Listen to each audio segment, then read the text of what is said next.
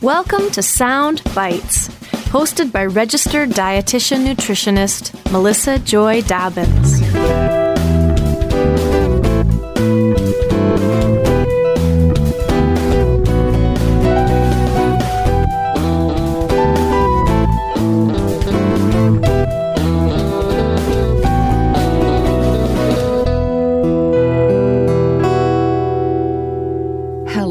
Welcome to the Sound Bites podcast. I'm your host, Melissa Joy Dobbins, a registered dietitian nutritionist. And on the show, we delve into the science, the psychology, and the strategies behind good food and nutrition. Today's episode is all about eggs. And I'm so excited. I had to do it. You guys know I love the food puns. It's about eggs and cognition, current research and updates on the naturally nutrient rich egg. And you guys know that I always talk about nutrient rich foods.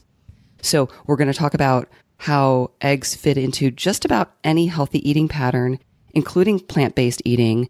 But we're going to focus a big chunk of time on cognition because I'm really interested in this research. Now, this episode is a partnership with the Egg Nutrition Center, and we thank them for their sponsorship and support. My guest today is Dr. Mickey Rubin. He is the executive director of the Egg Nutrition Center. Dr. Rubin has a bachelor's of science in kinesiology, a master's degree in exercise and sport science, and a PhD in exercise physiology.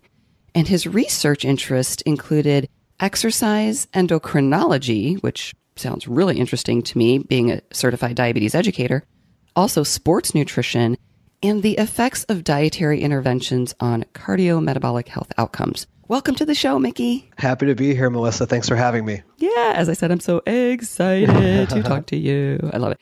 So tell us a little bit more about your background, your education, your career, and what brought you to work with the Egg Nutrition Center, and maybe more about your role there. I know that you were at the Dairy Council before because you and I were there at the same time, but Yeah. tell us a little bit more about your background. This is one of my favorite topics, so feel free to cut me off if I go on too long because I love talking. I love talking to students about you know their career path and you know how I got to where I am.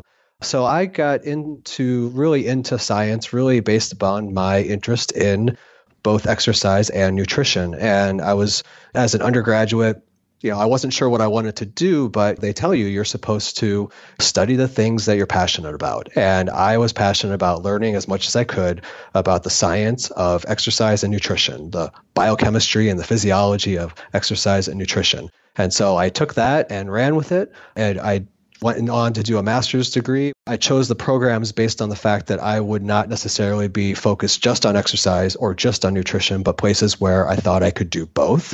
Uh, I was interested in muscle, I was interested in hormones and exercise, which is the endocrine piece, and I was interested in nutrition and how that all interacts. And so I ended up doing a master's degree and then a PhD. Uh, and then as I was completing my PhD, I decided that traditional academic path wasn't necessarily for me. Uh, and I was looking at other options. You know, what could I do with my broad based knowledge in nutrition and exercise as a scientist? And I started a career in the food industry. And so that was first where I started was at Kraft Foods uh, here in Chicago. From there, I went on to work at what's called a contract research organization, uh, which is essentially a research clinic. It's uh, not university affiliated, but it did research and clinical trials for both the food and pharmaceutical industries, which was really fun because I got to see like all the things that all the different companies were doing and had in development and work with all the scientists at these other companies and trying to test their products and understand them better. And so that was a really great learning experience from there. And then after that, as you said, I, I moved on to uh, the National Dairy Council, uh, where I oversaw their nutrition research program for about eight years. And that was really my first experience in working in agriculture and working for farmers. So the Dairy Council, as well as Egg Nutrition Center, American Egg Board, we work on behalf of farmers. It, they were the nonprofit organizations and farmers all contribute funds for research and promotion purposes of their products. And that to me is where I really found my niche. I uh, I was a typical you know typical suburban kid growing up. I was not very connected to where my food was coming from. But when I started working on behalf of farmers and I got to meet them and talk to them first of all, how passionate they are about scientific research. Mm. Uh, you know, that was really rewarding because they were very supportive of f- their funds going towards research and understanding more about the foods that they produce. Mm. And so I immediately had friends in these farmers because I knew we were all on the same page about the importance of science and the importance of research. Interesting. So I did that for eight years, and it was a really rewarding experience at dairy. And then I had the opportunity to come just down the street here with the American Egg Board and the Egg Nutrition Center, a very similar role, but just a different organization and a little bit more of a leadership role, overseeing both not only the research but also the nutrition communications piece as well. I think most of my listeners know that I'm based in Chicago, and yeah, you're in the suburb next to me. Yeah. And so when you say, yeah, National Dairy Council, then down the street to the Egg Nutrition Center, uh, yeah, different food group, but same sort of check off program where, like you said, the farmers support it. And it's so cool to hear how interested and supportive they were of the research. And uh, I'm sure excited to hear of all the different work that, you know, you were doing on their behalf. So you had mentioned, you know, yeah, growing up being in the suburbs, I was curious what made you interested in science and you know biochemistry and all of that to begin with was it just a subject area that you were good at or and sports in particular like were you active in sports yeah, so I wasn't very good at science actually at all. And then, you know, when it came to just sort of basic science classes like chemistry or biology, you know, more benchtop, very, you know, just sort of not really applied to anything in the real world. I had a lot of trouble just sort of thinking that through. I it wasn't until I got into college and I saw that, you know, you can really apply some of these real world things like exercise and nutrition to that chemistry or biochemistry. That's when it all clicked. Mm-hmm. And that's when I really started to understand it. I wasn't just the chemistry by itself no thanks. Mm-hmm. But when you mm-hmm. take that chemistry and you apply it to, you know, physiology and you apply it to nutrition and nutrients and exercise and all that, that's when it really all came together for me. Primarily growing up, I was, you know, interested in sports. I was interested in nutrition. As a high schooler, I, I was interested in sports and then I became interested in nutrition. That's when I first started. I'm not much of a cook, but I started to try to cook my own meals because I didn't think the meals that we were having at home were nutritious enough. Mm-hmm. And so I had so I started to do my own sort of experiments and I've always experimented with myself on diets and you know trying the the new thing or whatever. Uh, that it started all the way back then when I was a teenager.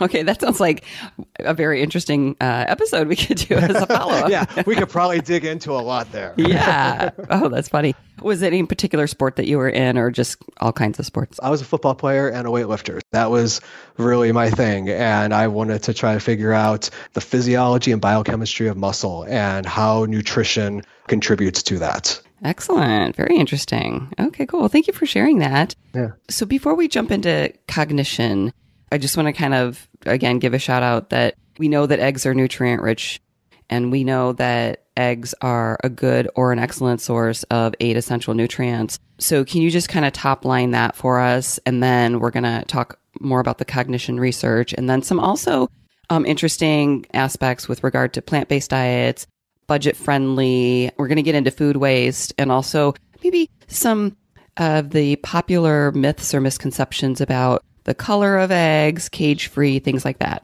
Sure. Yeah, well, as you mentioned, eggs are naturally nutrient rich. I mean, there aren't that many foods out there that can claim a good or excellent source. So that's either a good source would be 10% of the DV or an excellent source is 20% of the daily value of eight essential nutrients. So, and that includes protein, that includes choline, B12, the nutrient package of foods like eggs. I think are when we talk about foods and nutrients, I think we can talk about them together, but we tend to forget about the unique nutrient packages. You know, whether it's eggs or whether it's milk or whether it's yogurt, we forget that these are unique packages of nutrients and sometimes the sum is greater than the parts. Mm. And I think that's definitely the case when you look at something like eggs. A lot of people think of eggs as protein, mm-hmm. which is great. Six grams of high quality protein in a large egg. You know, it's a good source of protein, 12% of the DV. But I want to make sure that everybody knows that, yeah, absolutely think about protein in your eggs, but don't forget about the other nutrients and especially the nutrients in the yolk because a lot of the protein is obviously in the white. There's actually protein in the yolk as well, but all the other vitamins and minerals are mainly in the yolk. And so don't forget about your yolk. Don't throw away your yolk. Yeah, you know, it's it's interesting because I was an outpatient dietitian and a clinical dietitian at the beginning of my career. Mm-hmm. And, you know, do remember talking about egg whites and, you know, with cardiovascular health and diabetes, of course, as a diabetes educator. But I don't hear that much these days. So hopefully that's like an old, you know, recommendation. And I was going to ask you later, but I think it's a good fit now.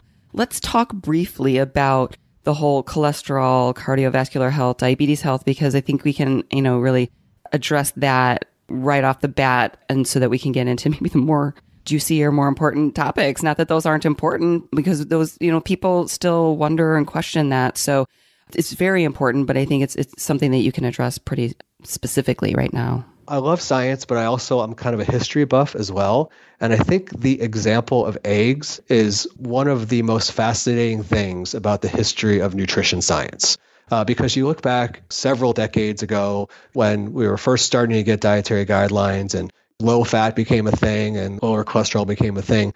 That was the best science of the time. Mm-hmm. It really was. I mean, you know, I don't like to look back at those early studies and say, oh, we got it all wrong. I mean, you know, that was the best available data of the time. And so science evolves, methods get better. We start to ask more specific questions. With our new methodologies, we're able to get better, clearer answers. And that's basically what happened over the course of several decades. If you look back in the 70s, and it was sort of the idea that the dietary cholesterol that you eat, you know, will increase the cholesterol in your blood. And that was sort of taken at face value. Mm. And then, you know, a lot of the research that started more into the 80s and to the 90s, and a lot of the research was started when the American Egg Board uh, and the Egg Nutrition Center first started funding scientific research. Some of those studies actually tested nutritional interventions. Let's actually feed people eggs and see what happens to their blood cholesterol. What they found was that that is not a very clear cut relationship. Just because you consume dietary cholesterol in the form of an egg does not necessarily translate to increases in cholesterol in your blood. Mm-hmm. It's just not that simple of a story. And in fact, the vast majority of the population experience no increase in cholesterol at all. In some cases, it's both an increases in both LDL and HDL. So your ratio of your sort of quote unquote good and bad cholesterol basically is unchanged depending on the study you look at or the intervention that you look at. So it's really a success story of science that you know we had early methodology and it was the best of its time and those methods improved over time and we start to learn more and more and more and it really is just a shining example of science in action. I love that. Thank you. You brought us up to speed with history really well because we've seen so many things in the media just like we had it all wrong and mm-hmm. dietitians are telling people the wrong thing and like you said, it's a great example and it brings home the point. And I talk about, you know, research and critical thinking a lot on, on the podcast. And it really makes a finer point about how the science is evolutionary, not yes. revolutionary, and yes. that that's the nature of it. So can we just get on board with that and keep moving forward? And, you know, people want things black and white and they feel like partly because of the media that you know it's flipping flopping coffee's good for you one day coffee's bad for you one day whatever that's the best example right every it depends on the week right it depends on the week so thank you that, that was really helpful and so let's just answer this quick question then. So with people who have diabetes who are obviously when somebody has diabetes they're increased risk for cardiovascular disease. So can people with diabetes have eggs? And is there a specific recommendation? Absolutely. So there's some very recent data on this actually with in terms of diabetes risk with egg consumption as well as you know some clinical trials have looked at uh, individuals with type 2 diabetes and what happens when they consume eggs. There was actually a large clinical trial that was done and it was published out of australia where they actually fed individuals gave them an egg intervention. I think believe it was uh, an egg a day intervention uh, with individuals type 2 diabetes, and they showed no negative outcomes in terms of cholesterol levels or their cardiovascular disease risk factors. So they really did show that eggs can be a part of a diabetes friendly diet for sure. When we look at the research that there was some research early on that suggested potentially a link between a consumption and type 2 diabetes risk. But lately, as I said, you know, the science evolves and our methods get better and we learn different things. And uh, the latest research that was published last year is actually a study that was uh, sponsored by Egg Nutrition Center, showed that you know some of those early studies only occurred in the U.S. and the studies outside the U.S. did not see this relationship with type 2 diabetes and egg consumption. And what this latest study found is that some of these early studies in the U.S. did not account for other factors very well that are more closely linked with type 2 diabetes. And when you're able to single out the uh, association with eggs alone, that link no longer exists. Mm-hmm. So again, it's just another example of how we're just our methods get better and the way we look at it improves and we learn more than what we did yesterday. Mm-hmm. Excellent. Well, that's great news for people with diabetes. Awesome. Mm-hmm. Okay, so like I said, we know that eggs are nutrient rich. And like you said, people tend to think of eggs as protein, but there's all these other important nutrients. And we address the cholesterol issue, which people are familiar with that history. At least mm-hmm. they're, you know, familiar with that concept. But I don't think most people realize that eggs have certain nutrients that are important for brain health and cognition. So that's what I really wanted to discuss with you today in depth. Tell us what nutrients are in eggs that are important for cognition and kind of walk us through some of the research and some of the findings. So, one of the things that I think is really important for everybody to maybe go back and look at is a review a recommendation that came out just last year in 2018 from the American Academy of Pediatrics. And that review was about the importance of nutrition during the first thousand days of life. So, you know, all the way from maternal nutrition all the way into infant and toddler nutrition. And what the American Academy of Pediatrics said in their recommendation was that this is a critical time period in development and for which if there are nutrient deficiencies, you might not be able to recover from. And so the AAP listed several nutrients that are important for brain health, brain health and development. Protein being one, B vitamins being another, uh, you know, a, a whole slew of nutrients. And one of the nutrients that they pointed out that was on that list was choline. Choline is not found in a lot of foods in high, high amounts. Eggs are probably one of the highest amounts of choline available, certainly of, of, of commonly consumed foods, about 150 milligrams of choline in one egg the best source of choline is actually liver. Not a lot of people out there eating a lot of liver, but it's no. a very, very high choline. Whenever I give presentations on the topic, I'm like, show of hands, who loves liver? And not a lot of hands go up. But there's a lot of choline in eggs and, and, and seafood, actually. Uh, salmon, a really good source of choline as well. But choline is really important for brain health and development and neurocognition because it's important for production of what's called acetylcholine. And acetylcholine is a neurotransmitter that's really important for the neurological system. It's important for not only you know a lot of different aspects of physiology, muscle contraction as well, but it's also really important for neurocognitive development and for developing sort of those neural connections in the brain as children are growing up. And you mentioned that few foods contain high quantities of choline. Uh, many foods have it, but not in really high quantities. It's my understanding that even most multivitamin supplements contain little if any. That's true. Uh, there's not much, uh, especially in, we hope to start seeing it more in prenatal vitamins. In mm-hmm. fact, uh, there was a recommendation from the uh, American Medical Association from one of their meetings uh, a couple years ago that recommended choline in prenatal supplements. But it's not all that common. But the most commonly consumed food, uh, where you can get a big chunk of it, two large eggs get you to half the daily value for choline. So it's actually quite substantial. Do we have any numbers on how much women, uh, pregnant women, are mm. consuming to get an idea of how many people are lacking? So it's a big number of people that are lacking. When you look back, uh, the Dietary Guidelines for Americans review back in 2015, they found that 90% of the population are not achieving the AI, adequate intake level for choline. So only 10% actually are achieving it. Mm-hmm. Uh, the number is very same number essentially for pregnant women not achieving. It's because uh, the recommendation uh, for pregnant women is actually slightly higher mm-hmm. Uh, than general population. So a lot of folks not achieving that recommendation. It sounds very on par with how many people are not getting enough fruits and vegetables and uh, yet you know we know we need to get fruits and vegetables but maybe we are not making the egg choline connection mm-hmm. so we're talking about the first thousand days and pregnancy obviously let's talk about once you have the baby mm-hmm. when would be a, an appropriate time to start feeding eggs for the infant yeah so i think the way which we're talking about it you know, the research in this area is really growing. Right now, the 2020 Dietary Guidelines Advisory Committee is convening. They're doing their scientific review for the recommendations that'll come out next year. And for the first time, they're looking at recommendations for just this age group, this B to 24 mm-hmm. age group. So we're really looking forward to hearing uh, what they recommend. But really, it's that time period where you can start really finding ways to incorporate some of these nutrient rich foods like eggs into uh, diets of children. Because when you think about a scrambled egg and how easy that is to tell us how soft it is and it's easy to pick up, and then it's so nutrient rich at the same time. And then on top of that, you know, we get a lot of questions about allergies, and, mm-hmm. and everybody's very concerned about allergies. Allergies seem like they're, you know, so much more prominent in children today. You hear a lot about peanut allergies. My kids can't bring peanut butter jelly sandwiches Mm-mm. to school, you know. So, yeah. but you know, again, another recommendation from the American Academy of Pediatrics on food allergy is actually recommending now early introduction is best we used to be, you know, my kids aren't that old. I have my oldest is 10 years old. And, you know, we even 10 years ago, we were like, when do we, well, let's be careful. We don't want to, you know, introduce anything too soon because what if they're allergic? We, you know, we, everybody was, took a very cautious approach. And now the recommendation is sort of the opposite of that. It's, it's introduced early because when you introduce early,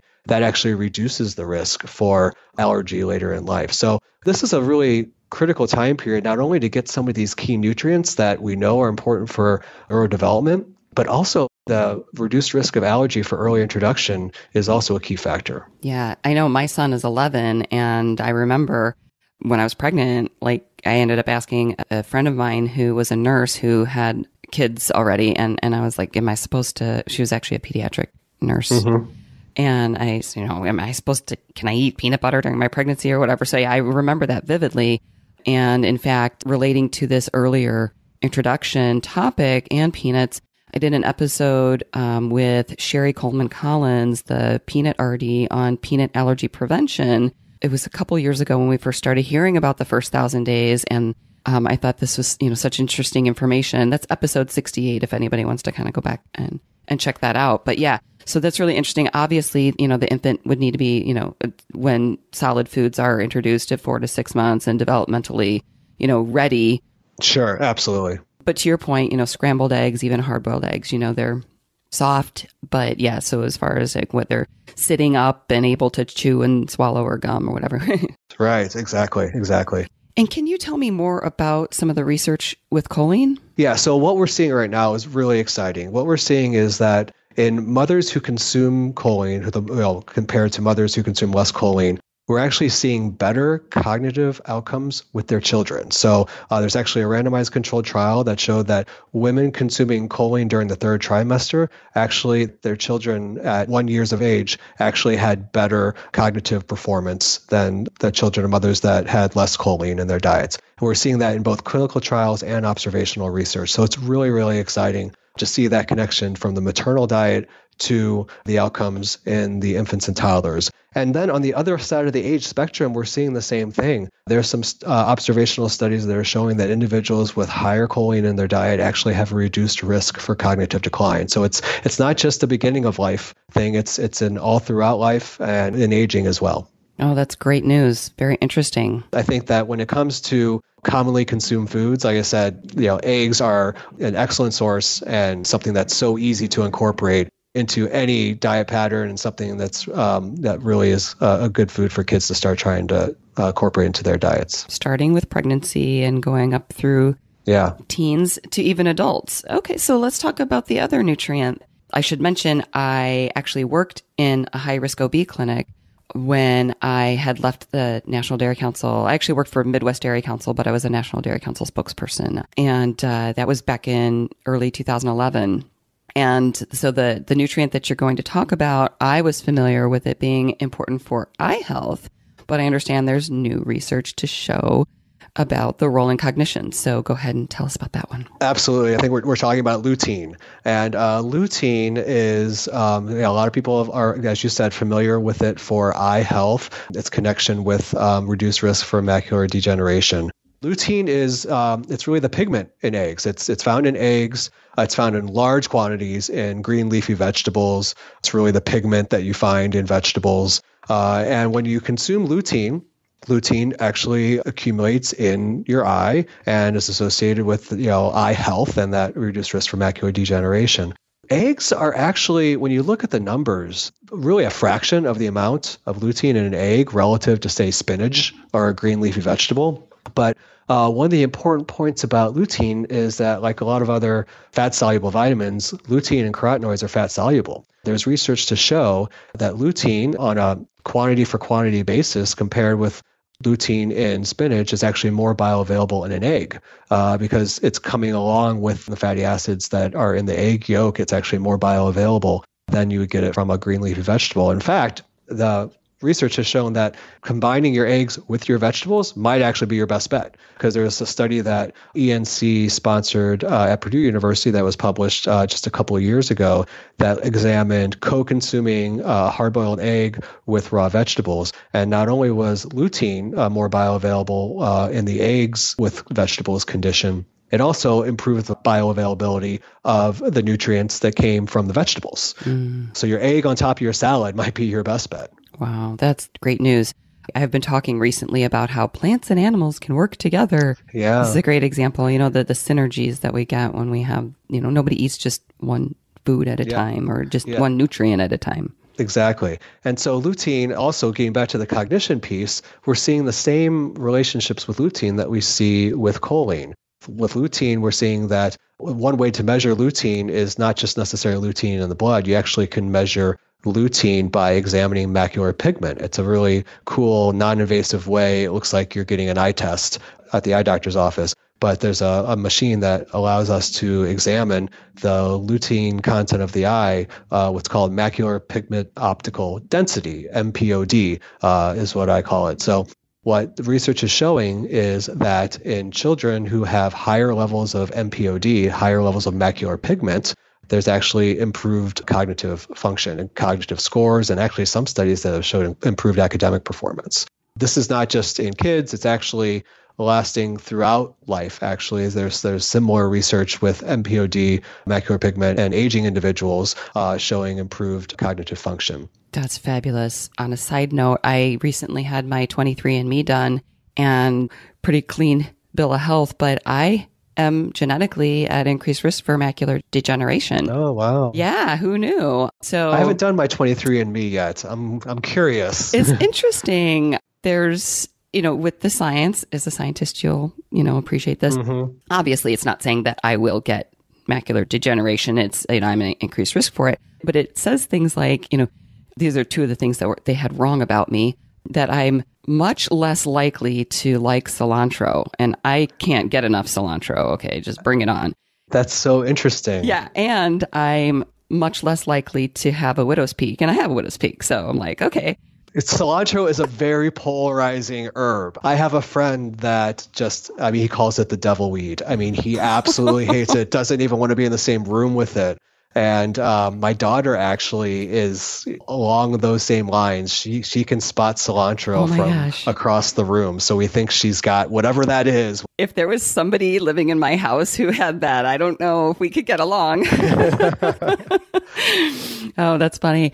Okay, so I didn't mean to, to derail that, but oh, but if you are, are interested more in 23andMe in that sort of vein, I did do a podcast interview. Um, I had my DNA more from a nutrition and weight and health standpoint. It's the Nutrisystem DNA Blue Kit something. I, am totally blanking on it, but a podcast interview was with Courtney McCormick, the dietitian from Nutrisystem, and I took the test and went through all my results. So that's kind of a fun episode if you want to check that out.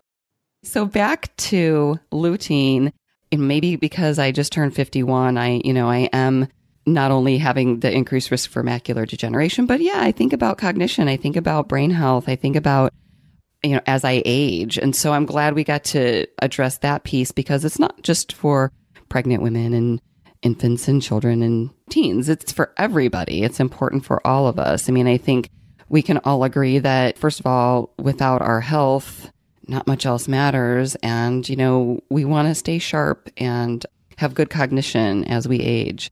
I do want you to talk about the blue light thing because I thought that was interesting. One of the things, you know, the eye health benefits of lutein. And as I said, when you consume lutein, it does accumulate in your macula. The best way to describe it, nature's sunglasses. Mm. You know, when you have that lutein accumulating in your eye, it does help protect the eye from blue light. And all of us are getting a lot of blue light exposure because we're always on our computers or all, always on our phones. So that's something that's also uh, you know, another benefit of lutein in our diets. Excellent. So I wanted to address that real quick. And so let's go back to how eggs can fit into plant based diets. I'm glad you talked about how the eggs can help absorb um, some of the nutrients in plant foods. So maybe that is a good transition into talking about how eggs can fit into almost any healthy eating pattern, including the plant forward, plant based diet? I get this question. I'm sure you you get this question. I mean, from, and all your uh, listeners get the question. Anybody that works in nutrition or says they work in nutrition, they automatically get you know looped into a nutrition conversation uh, in social situations, and it's like, well, what what should I eat? What's the best diet?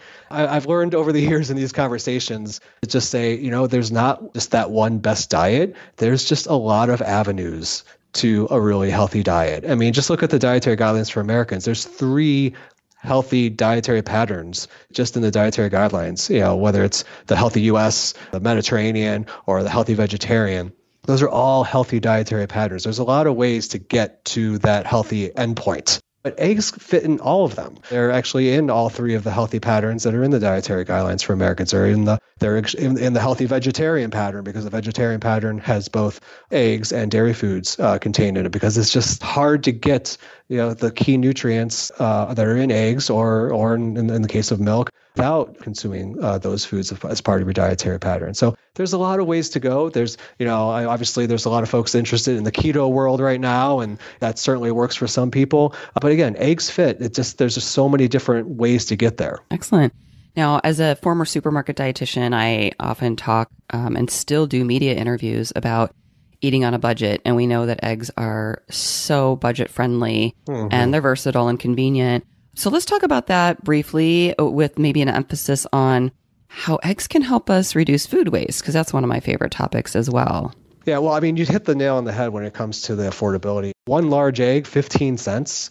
And when you look at the nutrient package that you're getting for 15 cents or 15 cents on average, I mean, it's really remarkable how packed it is with nutrients, whether it's, you know, obviously we talked about protein, but all the other nutrients as well. I mean, it's really the best bang for your buck, nutritionally speaking. Mm-hmm however you like your eggs, there's generally not that much left aside from the shell, which you know just gets gets tossed. There's not much that goes to waste when you're cooking with eggs. Okay, I have to tell you a really funny story. Um, it's short. Well, people on the show who listen to the show would have heard the longer version, but when my son had his pediatric annual physical last year, the pediatrician actually was like, make sure you get your calcium rich foods like spinach, broccoli, and eggs. And I thought, she just must have made a mistake. And then she repeated herself later. And I was like, hmm, I wonder if she's like she's missing something. right. and uh, part of the whole story is she either didn't know or forgot that I was a dietitian. And I yeah. did address this with her later, but I didn't at the time because I wanted to hear all the other stuff she had to say. Yeah. Um, yeah but I was like, yeah, you know, um, unless you eat the shell, maybe there's calcium in the shell. I don't know. But obviously we don't encourage yeah, that. Yeah, yeah, there is, but yeah, exactly. I don't eat the shell. I don't. I wouldn't necessarily recommend it for anybody. yeah. So okay, yeah. we know they're nutrient rich, but not a significant or maybe any source of calcium. There is, but it's I think it's like two percent of the daily value. So it's like we certainly can't say good source. You know, right? It. It's there, but it's certainly not as much as you would find in other foods. Yeah. So you know, like you said, excellent bang for the buck for nutrient rich food, you almost can't afford not to have eggs in your diet, right? Exactly. You mentioned hard boiled eggs. We always have hard boiled eggs on hand in the fridge for meals or snacks. Um, and my husband makes a mean egg salad. Like, I don't even oh. try. And I love deviled eggs. But I wanted to ask you what your favorite recipe or way to prepare eggs is. So I'm very old school when it comes to my eggs. I've seen a lot of people that you know try to do a lot of different things with eggs and try to make eggs quicker and easier. Uh, I definitely understand that because there is a preparation. A lot of folks like the um, you ever see the coffee cup uh, scrambled egg oh, where yeah. you just kind of put the coffee cup in the microwave. Did that throughout and, college. Yep you know and i think that's great because it's quick and it's easy but for me there's just nothing better than my eggs in my skillets mm-hmm. whether it's my scrambled or whether it's my once over easy and i've got my technique down that i get just get the yolk and the just the right you know, consistency. Mm. I, I, that that's the way I like it. I was, my wife does most of the cooking in our house, but there's a few things that are my domain. the eggs. eggs are my domain. the scrambled eggs, that's my domain. Stay away from the skillet. I've got this covered because it's got to be just that right sort of consistency, custardy consistency, mm. you know, not too much, not too little. Then the same for the over easy egg. It's got to be just that right, not too runny, not too hard, just mm-hmm. sort of mm-hmm. right there in, yeah. you know, perfect spot. I think people are picky with eggs like they are with bananas. You know, everybody has their own little like preference. Yeah, absolutely. Well, it's funny you mention it because I'm the scrambled egg person, but my husband is in charge of the omelets. Even mm-hmm. though about 15 years ago, I attended a supermarket dietitian forum in New York City and I met the omelet king. The omelet king. Um, Howard Helmer, the omelet king. This guy's amazing. He was working with the Egg Nutrition Center and, um, or the Egg Board. He holds the Guinness World Record for the fastest omelet cooker. Wow. He made 427 omelets in 30 minutes, and he's also can make one omelet in 42 seconds. Wow. But those numbers I looked up, but what I did not forget over these 15 years, and my regular listeners know I don't have a very good memory. Um, I, maybe I need more eggs. the perfect omelet is made with two eggs and two tablespoons of water. He says, if you're making scrambled eggs, you can use milk. But with the omelet, you want to use water because that steams and it makes it fluffy. So I'll see if I can find some yeah. the recipe or the video or something with him.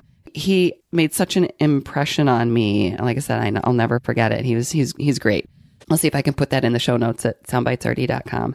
well, it's an omelet for me. It also has to have cheese to make it the perfect omelet. So we got can't forget about that. Absolutely. And well, it's funny you say that because I mean, I love cheese. I have an entire cheese drawer I put the cheese in the vegetable drawer because the vegetables I need to see so that they don't go bad, or as I like to say, get forgotten and go rotten.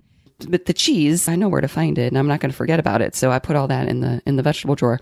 But my husband puts too much cheese in the omelets. It's just oh, too rich. It's just yeah. too much. But anyway, you know, like I said, we can be all picky. Moderation with everything. There's a too little and a too much. You got to find that middle ground. Yeah, and I never thought I would hear myself say too much cheese, but it's a it's a thing with the omelet. We forgot to talk about food waste, so I want to go back to that. Mm-hmm. I think you have some suggestions and ideas about how eggs can really help us cut down on food waste, which I think people are starting to make the connection. Food waste is bad for the environment. It's not just you're wasting money or there's food that's not getting to people who are hungry, but it goes into landfills and it produces greenhouse gases. So this is a really important topic. So how can eggs help us cut down on food waste? So we already talked about the nutrient benefit of consuming your uh, eggs with your vegetables. And so it's another way for you also to kind of use what's left in your fridge. And so if you got some extra vegetables get those vegetables before they go bad or you know you could make yourself a frittata or a vegetable based frittata again whatever ways we can use eggs as a vegetable delivery system mm. is something that we are we strongly encourage because there's so many different ways to do it and it makes for such a, a more savory delicious dish and there's a lot of different things you can throw in we talked about cheese already all the things in your fridge go with eggs. Mm-hmm, yeah, and use your eggs up before they go bad too. And yeah, you know, yeah. like I said, I'll I'll hard boil mine and I'll throw them on salads, of course, or my you know, egg salad sandwich. But also, you can put eggs in soup as you're cooking soup. Oh, yeah. Um, like yeah. egg drop soup. Egg drop soup or good ramen. Yeah. Absolutely. Yeah. And I, it's funny. Okay, confession. I do eat ramen noodles from time to time. Mm-hmm. And I will drop an egg in there, and it just makes it that much more nutritious. Yeah. The egg yolk is just so versatile and it just provides that sort of savoriness to so many different dishes. Mm-hmm. Yum, yum. Okay, so let's address some of the myths and misconceptions. Mm-hmm. So, is there a difference between brown and white eggs? Is there any nutritional difference? Um, why are they different colors? Enlighten us. Sure. Well, first of all, there's no nutritional difference. Brown eggs, white eggs, same nutrient package. It doesn't really matter on that front. The difference really is the hen. So the brown eggs come from the brown hens with the red earlobes. It's about the earlobes. That's where the brown eggs come from. And then the white hens produce the white eggs. It's it's really that simple. There's really no nutritional difference between the two. And you know, a lot of folks might have a preference one way or the other, and that's perfectly fine. But you know, when it comes to the nutrient content, it's the same. Just the color of the the, the earlobes of the hen uh, really is is what drives the difference in, in the eggshell. I think that's so interesting. the earlobes, right? And really, the only way to change the nutrient content of the egg is what you feed the hens. So, could you briefly touch on like some of the eggs that are higher in omega threes? Yeah, yeah. So you see that well if you go to the supermarket. There's just there's you know a lot of different, just like yogurt. There's a lot, so many different varieties of eggs, right? The only way to change the nutrient content is to change what the hens themselves are eating. And there are some of those options available in the market. So some eggs uh, report on their packaging, you know, higher levels of vitamin E or higher levels of omega-3 fatty acids. That's because the farmers producing those eggs provided uh, a special feed to their hens that increased the level of nutrients. And that's it's a perfectly fine uh, way to go. Those eggs are going to be more expensive, generally mm-hmm. speaking. So, you know, we mentioned earlier the 15 cents per one large egg. You know, those nutrient enhanced eggs eggs are obviously going to be more than that. Uh, but depending on what you're looking for, those are good reasons to might be good reasons to go that direction. They cost more to produce, so that's why they cost more at the store. Exactly. Okay, and then one more quick question: uh, What about cage free? Mm-hmm. is there any difference as far as nutrition and cage free cage free free range all the different types of you know housing uh, options that you see no the nutrition again nutritionally speaking no there's no no real difference again the only nutritional differences we see are the ones where they specifically change the feed for the hens. We're starting to see a lot more cage free options available. You know, I think, uh, you know, just talking to egg farmers, they're listening to consumers. They know consumers have certain expectations, and, you know, there's more. Um, market for for cage free i think you know egg farmers are going to meet whatever demand is out there. So whether it's, you know, some folks just want to have find the cheapest eggs that they can find, and that's great. Others want cage free, others want nutritionally enhanced. I think the great thing is that we have those options. A lot of people have different demands, and farmers are ready to meet those demands. Mm-hmm. Excellent. Thank you. Okay, well, in wrapping up, I'd like to see if you have any big takeaways or summary for our listeners. But also, I want to highlight some of the awesome resources that the Egg Nutrition Center has and how people can connect on social media and also how health professionals can become an egg enthusiast. Why don't we start with any major takeaways or summary that you'd like to share?